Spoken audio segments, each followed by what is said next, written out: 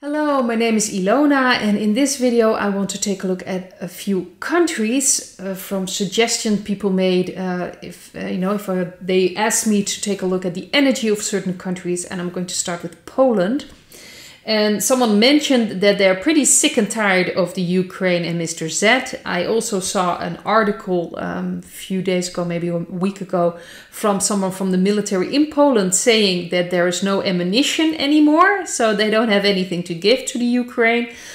That's not something you usually say out loud, so to speak. So that's not the smartest thing to do, especially not if you're working for NATO. If you're working against NATO, that's the best thing you can do. So there already things are changing. And the uh, cards I got, the first card is the Eight of Swords. The central card is the King of Swords. In the past, we have the Nine of Wands. Underneath the King of Swords, we have the Ten of Swords. And for the future, we have the Moon and the Ace of Pentacles. And the Ace of Pentacles is like a true beginning, so a new beginning.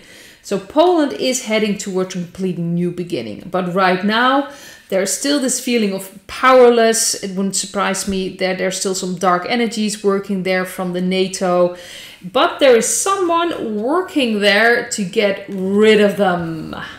Very radically. So things are being done there. The feeling I get from this person could be a male, most likely it's King of Swords, but doesn't have to be. But I do believe it's a male sick and tired of these energies and really want to cut ties in all kinds of ways, including from walking away from NATO, including from the European Union, if I'm not mistaken.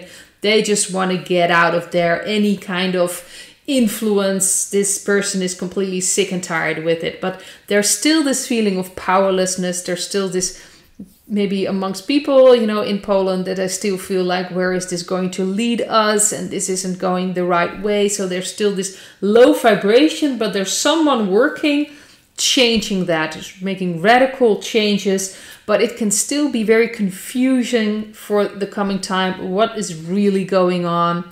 White hats, black hats, gray hats. It's kind of just walking through each. How to say that? It's kind of just mixing through and it can be very difficult to fully understand what is going on, who's really in charge. But a new beginning will be made. So I do believe someone is actually working for the white hats, cutting ties, making sure that all these influences who are just not right for the Polish people, they're getting rid of them. Sick and tired of it. And we also have, of course, the old pain. A lot of things have happened on, on the land of Poland and with the Polish people in the past that needs to be healed as well. So uh, there are still a lot of people there feeling like they don't have any power, that things are just being decided for them, but that is going to change. And there is someone working very hard to change that. And it, it's not just one person, but there's someone really just fed up with this. It's not going anywhere. It needs to cut ties, radical changes. So do expect some radical changes on the background. So in the background, I mean it won't be visible right away and it could pertain like it's actually meant for something else but ultimately this is to make a new beginning for poland changes are being made but it can still be very confusing which direction it's heading uh, which way it's going so that's the energy i got for poland but changes are coming and someone is working really hard obviously with the white hats as well to change things and that's very important the second country I wanted to take a look at is Spain. Of course, I shuffled the cards in my Dutch video. The first card is the Three of Pentacles for Spain. I have the Judgment as the central card. We have the World card in the past. We've got the Five of Pentacles underneath the central card. And then for the future, we have the Four of uh, Swords and the Four of Cups. So this is really about waking up as many people as possible, or at least give them the opportunity. And I've mentioned this in another video that people are like, well, why aren't the white hats taking over, changing everything? But then humanity won't wake up, or at least a lot of people will not understand that they have something to do with that as well, and that this is about the spiritual awakening of humanity and giving them the opportunity, especially when you're taking away their safety, their money, things like that. People will start understanding there's something else going on. And of course, they can panic and feel left out. But it's usually when people are uncomfortable that they really start to understand something else is going on. And it's up to each and every one of us to be open for that or not. There will be people that will not be able to, uh, or at least they don't, they won't want to wake up, so to speak. So of course that's that's up to every one of us. That's the free will. But things are in Spain. They're working behind the scenes to really wake up people as much as possible. I think that's really the stage we're in worldwide with everything that's going on things will come out. They will try to uh, maybe even create what seems like dark energies, like their takeover. But it's really to wake up people and to really, how do you say this, make them very angry in a way, you know, make them uncomfortable so they won't accept this anymore.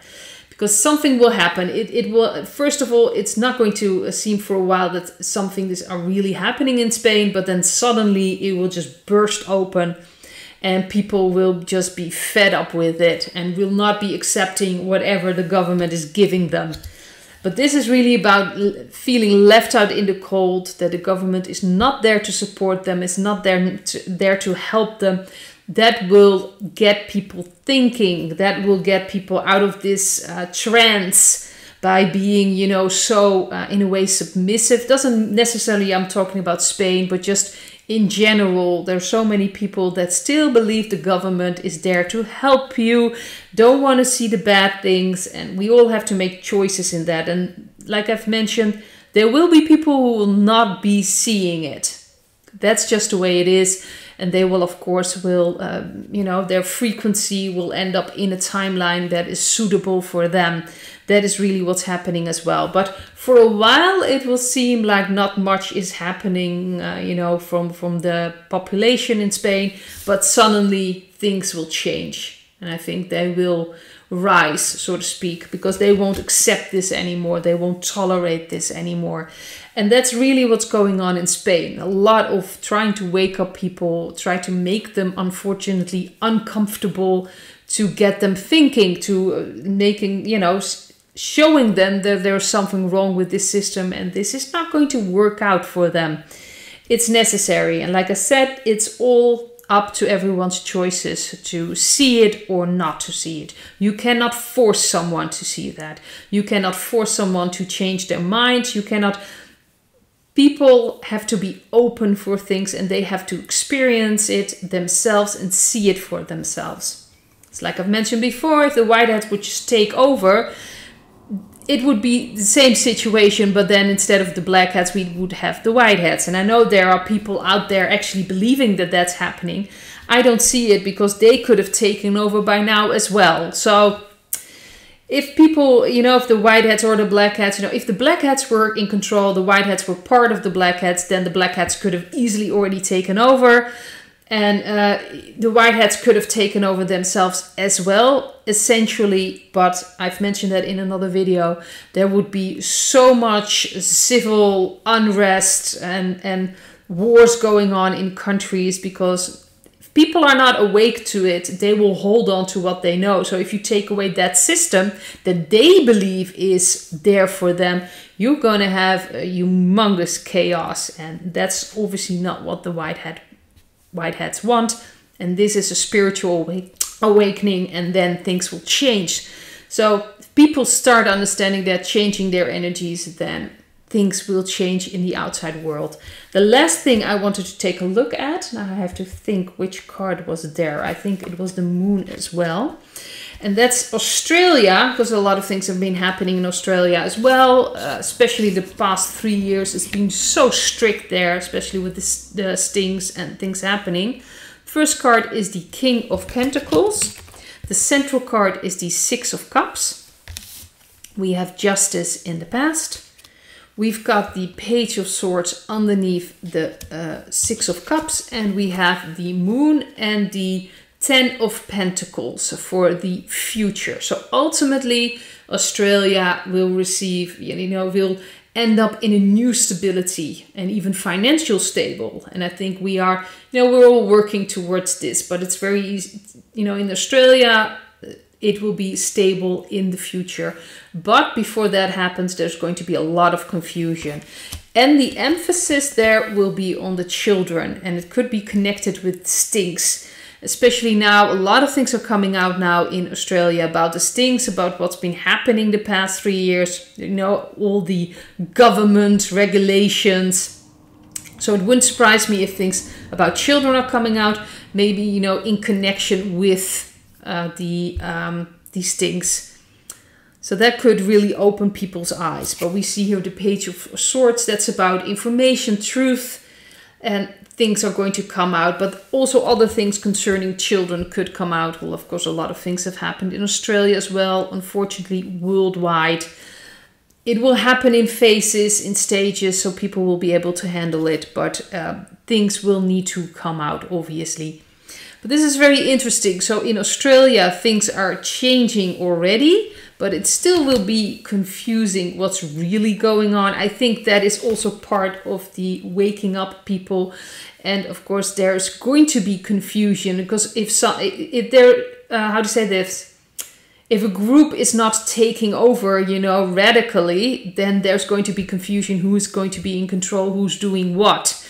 And I think we are now in that chess game that moves are being made and counter moves and it's very confusing now in australia. It's confusing as well who is really in the lead who is behind what but there's going to be a new stability coming in a new stability and i think that's very very important. But the emphasis there will be on children and it wouldn't surprise me if it's connected with the stings. Things are going to come out there more and more about that and I think that's so important. We really need to see that worldwide. So this is what I've got and I hope to see you in another video. Bye.